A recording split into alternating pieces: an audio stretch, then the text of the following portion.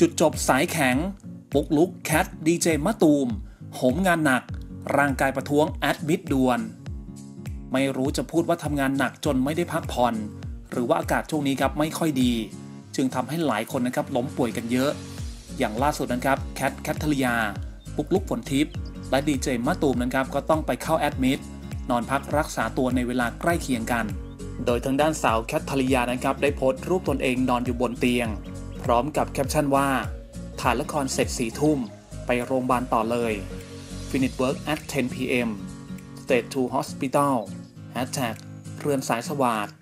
Hashtag ทีมคุณหญิงตาบทิพย์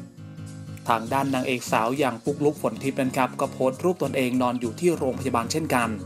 พร้อมกับเขียนแคปชั่นว่า แค่กแค่กมา 2 เดือนแล้ว จบที่โรงพยาบาลค่ะ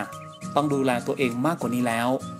ในส่วนของรายนี้นั้นครับดูจะหนักสุด ก็ต้องเข้าไปฉลองวันเกิด ด้วยการต้อง admit เข้าไปนอนพักรักษาตัวที่โรงพยาบาล โดยไอจีของดีเจชื่อดังนั้นครับได้โพสต์ภาพตนเอง นอนให้น้ำเกลืออยู่ในห้องพยาบาล พร้อมกับเขียนแคปชั่นว่า ตอนนี้คุณดีเจมะตูม admit อยู่โรงพยาบาลไข้ขึ้นสูง 39.3 ไม่ต้องห่วง ตอนนี้ถึงมือหมอแล้ว แอดมิดหนึ่งคืนเพื่อรอดูอาการ ฉีดยาลดไข้กับยาฆ่าเชื้อแล้ว พรุ่งนี้มะตูมไม่ได้เข้าตึกแกรมมี่ไปจัดรายการแฉแต่เช้า ใครจะส่งเค้กหรือของขวัญวันเกิด หรือแวะมาเยี่ยมหรือเบิร์เดย์ได้ที่ห้อง 1105 เลยค่ะ ขออนุญาตใช้พื้นที่พี่มะตูมแทนนางนะคะ สุขสันต์วันเกิดนะมึงโอ้ยงานนี้ครับ แบบนี้เขาเรียกว่าจุดจบของสายแข่งได้ไหม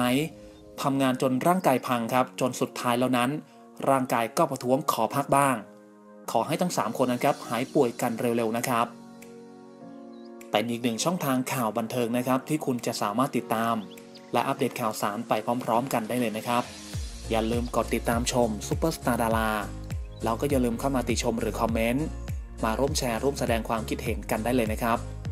ที่สำคัญครับต้องขอกราบขอบพระคุณทุกท่านมาก ๆ ด้วยนะครับ ที่เสียสละเวลาในการติดตามรับชมรับฟังกันด้วยนะครับ